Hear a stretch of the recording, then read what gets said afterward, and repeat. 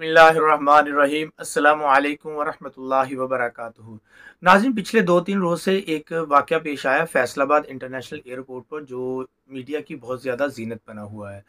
वाक़ कुछ यूँ हुआ कि गुजरावाला से एक आदमी जो है, वो अपनी फ़ैमिली को वहाँ पर छोड़ने आया या लेने के लिए आया। गालबन छोड़ने के लिए आया था, मगर उससे यहाँ पर मालूम ना होने की वजह से वो जो खारजी रास्ता है, वहाँ से दाखिल हो रहा है। और जराए का कहना है कि वो गाड़ी कुछ तेज़ चला रहा था, जिसकी वजह से एएसएफ के नौजवान जो हैं, उन्हें शक गुजरा कि ये कोई गलत काम हो सकता है, कोई धमाके वाला चक्कर या कोई हमले वाला चक्कर हो सकता है। उन्होंने उस पर फायर खोल दिया। मैं कहता हूँ कि अल्लाह उनका भला करे, उन्होंने टायरों पर फायर खोला। जो सवारियाँ थी गाड़ी के अंदर, उनकी जान बच गई। और दूसरी तरफ़ मैं जो वहाँ पर जाने वाले हैं और ये ये शामिल है गुजरा वाला की फैमिली, इनसे कहना चाहूँगा, अगर आप पर फायर हो रहा है, आपको मुश्किल पेश आ रही हैं तो आपको चाहिए आप फ़ौर से पहले रुक जाएँ, ताकि वो भी अपनी मज़ीद कार्रवाई से रुक जाएँ।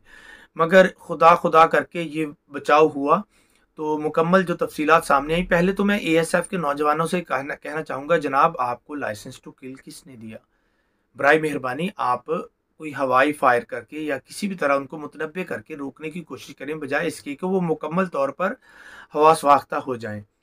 दूसरी तरफ़ जो हमारी आवाम है, अगर आपको किसी जगह नहीं मालूम होता तो बर मेहरबानी आप किसी से पूछ लें।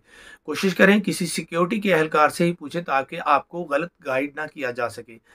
और अपने सही रास्ते पर चलने की कोशिश करें, क्योंकि ये हसास मकाम होते हैं। वहाँ पर जो खड़े एहलकार होते हैं, इनको काफ़ी हद तक गोली के ऑर्डर होते हैं।